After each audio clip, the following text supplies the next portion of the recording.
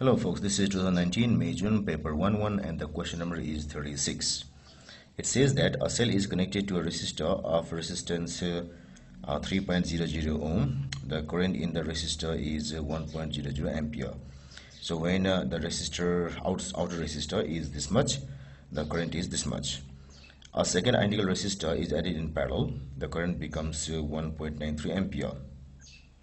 So when you add a second resistance, a resistor, the current becomes the current increases. Of course uh, when we uh, connect some resistor in parallel the total R decreases which means the current increases and it is 1.93 so what are the EMF E and the internal resistance R of the cell? So it means that uh, the source that we have is has got internal resistance. So uh, let's uh, draw the first case especially so the first diagram should be equal to this this. So this is the source with EMF E and this is the resistance.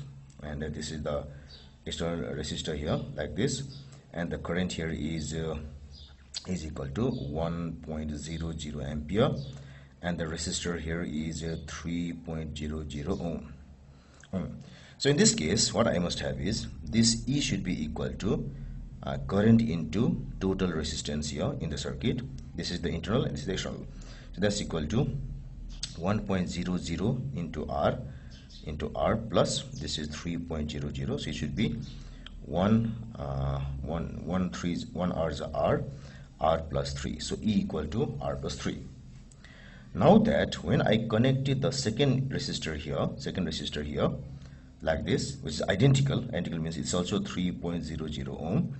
The current becomes 1.93 so now what happens is e is equal to the new current is 1.93 new current is 1.93 then I have R okay.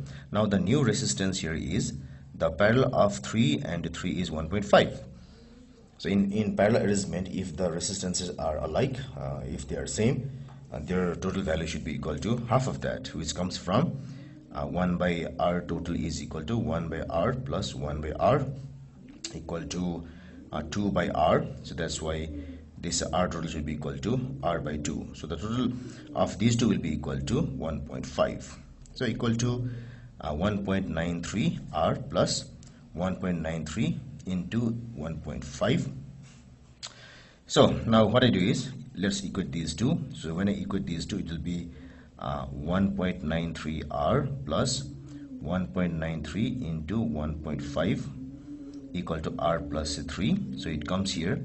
It is 0.93 R equal to 3 minus 1.93 into 1.5 so so when I do this uh, uh, calculation it will be it will be uh, so when I do this R equal to 3 minus 1.93 into 1.5 by 0.93 it becomes so uh, 3 minus, uh, 1.93 into 5 so bracket close bracket bracket in 1.93 divided by 0.3 is becomes equal to 0.1129 ohm and that's nearly equal to 0.113 ohm so the small uh, r or the inner resistance is equal to 0.13 ohm so it, this choice is available only in choice number c this choice is available only in choice number c so this should be the correct answer.